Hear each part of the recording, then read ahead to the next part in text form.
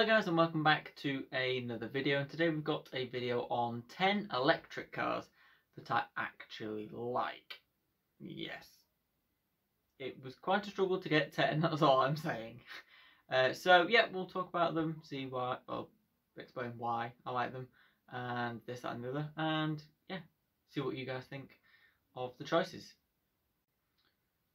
So we're going to go in order from the least liked to the most. Um, now, all of these are cars that I genuinely, well, to be honest, some of them I only put on there because I was struggling to find other cars. Um, I do like them per se, but I think only the top four I would buy. So, it's quite confusing. Um, or the top five or something. There's not many that I'd actually buy um, on this list. Thanks if you would like to see a video on every single car in the world that's ever been created that I would buy, you can click on the pop-out banner up there to see that video. Um, it is quite a lengthy one, uh, but it might be quite interesting. Uh, so, why wouldn't I buy many electric cars then? Well, electric cars are boring and are terrible drivers' cars that also incredibly um, impractical in the real world because they can't go very far, they take too long to charge, they also are just genuinely worse cars in general, and they are also, in the long term, can be worse for the environment than a traditional petrol or diesel car. Now, you may go, oh, you're being weird. You might put the adenoids on. No, uh, there is scientific evidence. Just Google it. Um, has been proven many times. So, yeah, don't really like them, but there are a few on there. Now, there is a wild card. Now, the reason I didn't put this on was because it's not actually a production car.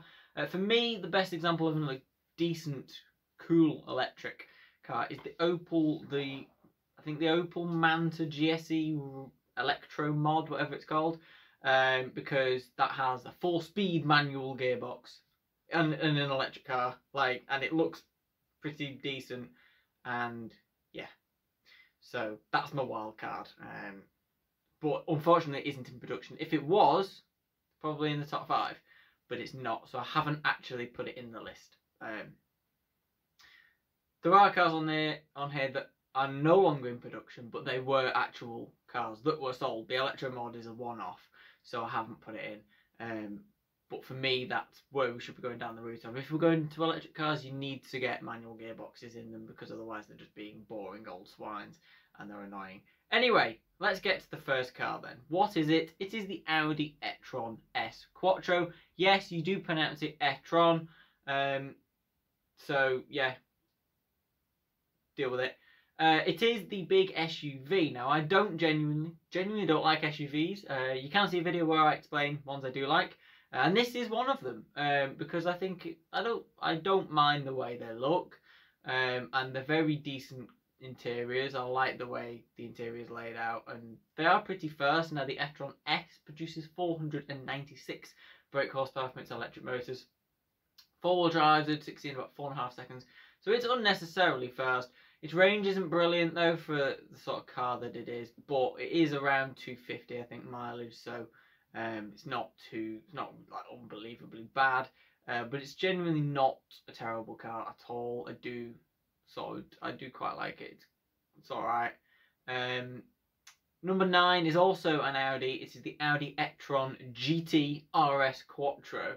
Um, so the e-tron GT is the sporty saloon car that's based on the Porsche Taycan, um, which is not on this list, and I'll explain why in a second. Um, the reason the Audi is and the Porsche isn't is because the simple fact that if you look at a Porsche Taycan, it is nowhere near as decent to look at than the Audi. The Audi is a far better looking car. Also, the Audi is a hell of a lot cheaper.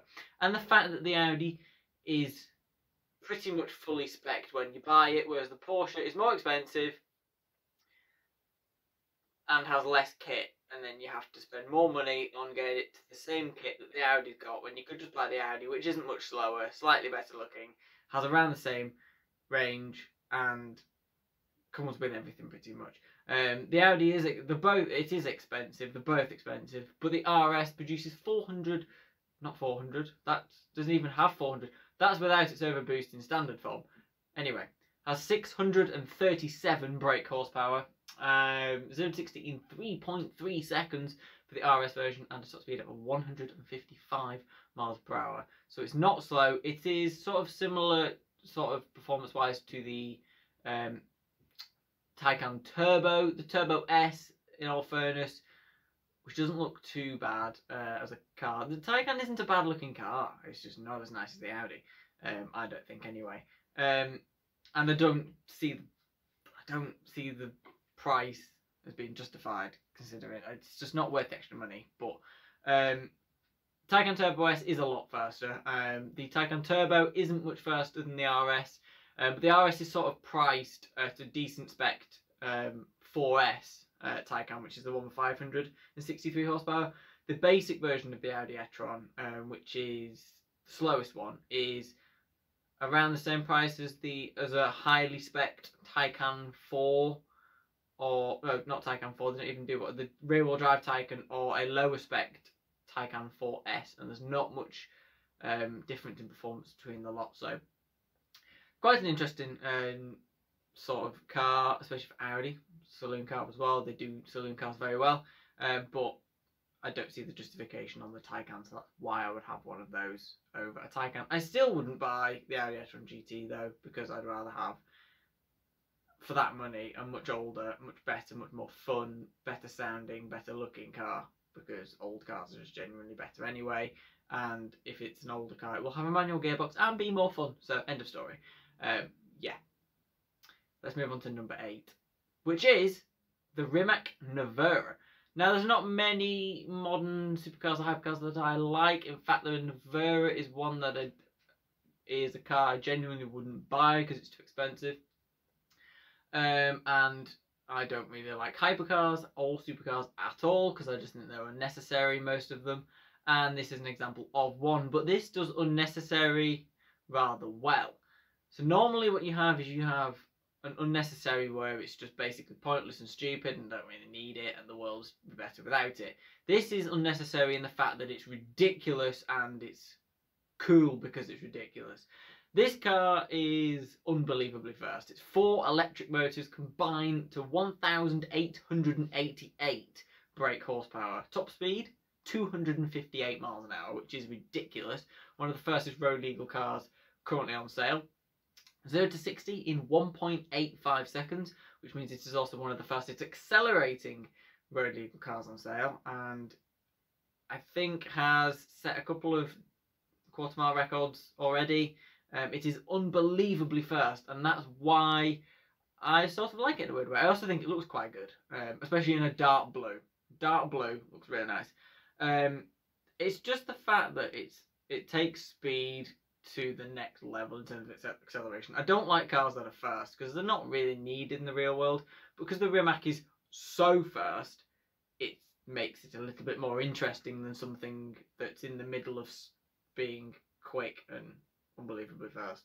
So something that's just a regular supercar nowadays is boring, but something that's above that and above the hypercar level of like 1500 horsepower, something that's so fast it's just shouldn't exist, like the Rimac, is interesting. And something that's slower is much more interesting than something that's just in the middle of power power range because it's just boring and it's like that everywhere. So whereas the Rimac actually stands out because there's not many cars on that performance anymore. So well, on sale at all really. Uh, there is one further up the list that is a little bit. It, in fact, it is more powerful and faster. Um, not top end, but 0 60. So um, that will come very soon. Now, I think I'm going to try and remember what the next one is. Uh, it's we're going into the sort of cheaper cars now. There is one that is more expensive coming up, which is the rival to the Rimac, but it is we're sort of getting into the realm of I would actually buy these cars now because the ones that we've already mentioned I wouldn't actually purchase. They're just cars that I sort of like uh, that are powered by electricity. There's probably four or five that I'd ever consider actually buying with money because I don't like electric cars at all. Um, so we'll we'll get onto those. And the number one spot would be the one that I would actually purchase, and I think number two and number three as well. Maybe four and five actually as well.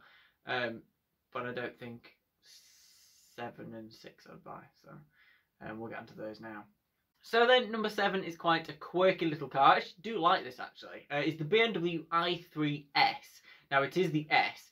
Uh, the i3 is quite a quirky electric hatchback from BMW. It's been out quite a while now. They have updated it in the recent years with a bigger battery and better mileage, uh, better range. Um, and the S is pretty quick, as M60 takes 6.9 seconds for the i3S, which is pretty fast for a small electric hatchback. 181 horsepower, top speed of just 99, but obviously electric cars are a lot slower top end because of their single or twin gears. They don't really have like a proper proper normal gearbox, which is the big issue.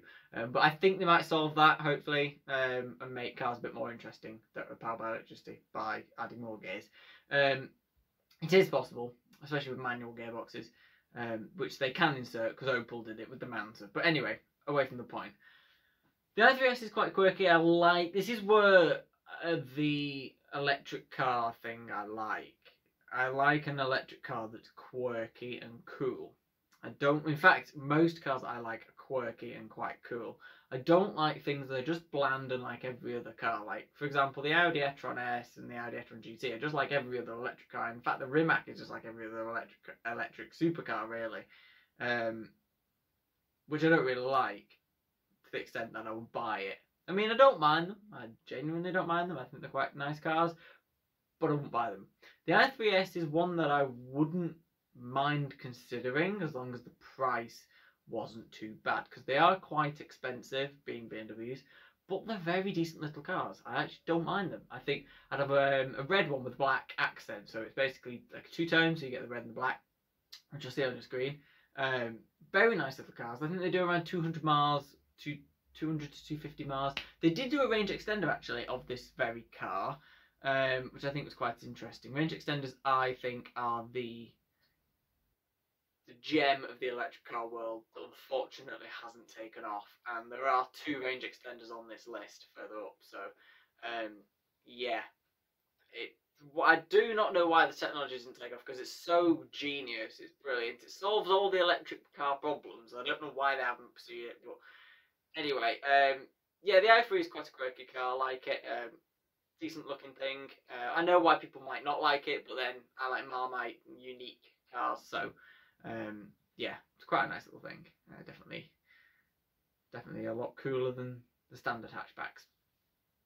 Um, next one is the Aspark Owl. Uh, the Aspark Owl is well, can't turn its cockpit fully 360 um, or 180 or whatever. It can't turn its head around. Um, it's not a proper owl. It's a car, not an owl. Um, but never mind. Uh, away from the owl jokes because that was quite terrible. Um, it's basically the Rimac's enemy. The Lotus Evija isn't really because it's not built to be as ridiculously fast. Even though it's got more power, it's not built and geared to be as ridiculously fast top end or acceleration as the Rimac. The Aspark is.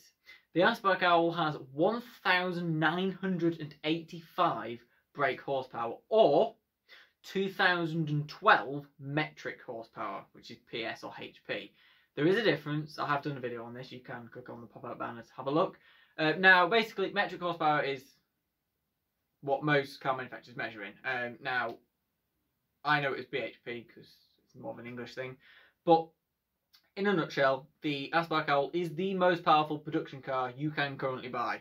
The Lotus Evija, which was claimed to be, um, isn't anymore because the Aspark is has now been confirmed to have 1,985. Uh, it wasn't at the time of the Evija release. The Evija has 2,000 metric horsepower or 1,972 bhp. The Rimac has 1,914 metric horsepower or 1,888 bhp. I will put that on the screen right now uh, so that you can see there is a difference. And if you didn't know, the Pininfarina Battista, the other electric sort of supercar, has 1,900 metric horsepower, which is 1,876 brake horsepower. I do just know this thing. I'm, I'm, i do just know these things. That's just me being a nerd. But uh, yeah,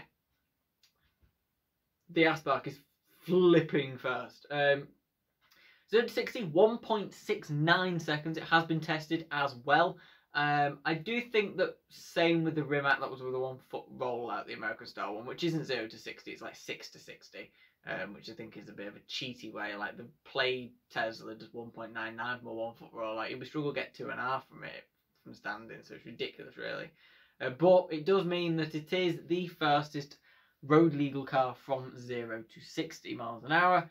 Um, which I think is unbelievably ballistic. Now, its top speed is a little bit down on the Rimac. Uh, I think that's because the Rimac's got a larger um, second gear. Um, I don't know whether the Aspark actually has two gears, probably only has one, but who knows? Electric cars are complicated and stupid. Um, it does 248 miles an hour though, so it's not slow by any means. It's unbelievably fast still, so doesn't really matter. And it is still one of the fastest cars on sale, because not many cars are that fast anymore. Um, it, we're not in the 1990s anymore, so yeah, cars were first back then. Uh, cars are no longer fast. They just accelerate fairly okay to like 100 miles an hour and then just die, which is just the modern world of cars. It's boring. Um, but anyway, the Aspark is unbelievably fast, and yeah, it's hilarious. But I also think it's a very good looking car compared to the Rimac. The Rimac isn't as good looking as the Aspark, and the Aspark is for me, stands out a bit more than the Rimac because less people have heard of it, and that's why. Um, that's why it makes it a bit cooler as well. Um, so yeah, we're into the top five now. It's getting interesting.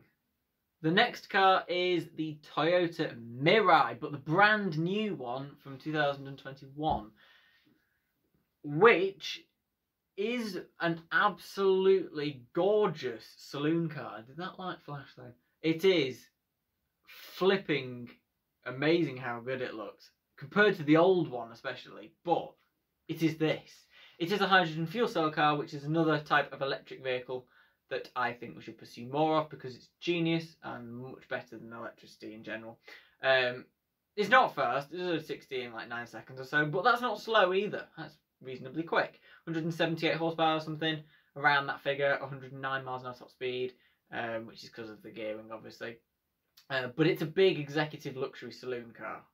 It looks good, the interior is nice, it's quiet, laid back, luxurious, how it should be for a big executive saloon car, but you don't worry about the range because when you get to a filling station, it takes three minutes to fill up like a normal petrol car instead of like nine hours. So it's it's genius, really.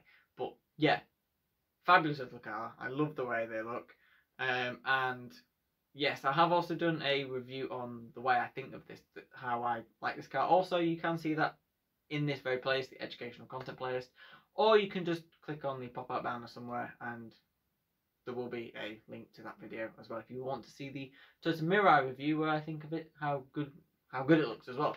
Um, but yeah, very good looking car. and I definitely would own one. Um, yeah, number four now, which might be quite an interesting one. I think you might like this one. So the next one is the first of the range extenders on the list, and it is a taxi as well, also known as the LEVC TX. Why do I, I like this? Because it's quite cute. It's a nice small taxi. It's basically the modern London taxi, but it's quite cool. It's quirky, looks pretty decent, and I just I just have got a soft spot for them. I think they're so full of character. But obviously it's a range extender, so it uses a tiny little uh, three-cylinder engine, which hardly gives out any carbon emissions at all. In fact, little, um, I think about round, it is literally dead close to zero figure, which just charges the batteries up when the batteries go flat, which produce 148 horsepower. It is not fast, it does top about 18, 60, about 13 seconds or so, but um, charge the batteries up. So you've got a bigger um, range than what you would have. You've just got a full tank of fuel as your extra range as well. So yeah really nice little thing. It's just for doing short journeys but you can actually spec them what i like about levc is you can spec it to not be a taxi as well. You can just walk in and go right i want a bright yellow levc tx but i don't want the taxi version. I just want a civilian one. And they do actually do them i think as well. And they do them for other people around the world. And it's just brilliant. I've I've watched TV programs on the actual building of the LEVC TX, and it's a really really quirky little car, and I genuinely like them a lot. So yeah, there's no stopping me liking it. Um, Next is another range extender, and this one, this is where we get into top three now, and this is where it's interesting. It is the absolutely fabulous looking Fisker Karma, the unfortunate sales disaster that is better, for me at least, than the Tesla that didn't come much long after it. Um, basically, Fisker tried to pioneer the electric car before, well, big saloon executive electric car before Tesla did with the Model S. Uh, in fact, the Model S came out not long after the Fisker went out of production in the UK.